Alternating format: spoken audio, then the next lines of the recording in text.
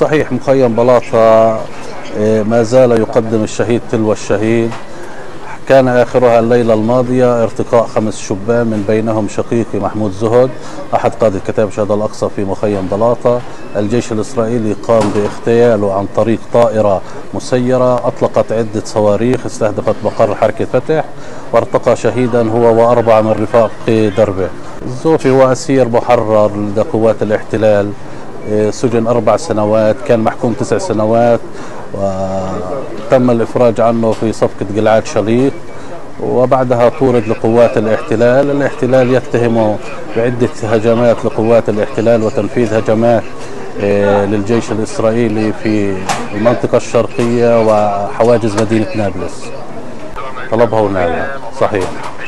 عرض عليه مغريات كتير وعرض عليه عروض كتير ولكن إيه، لم يهتم لهذه المغريات ولا هذه العروض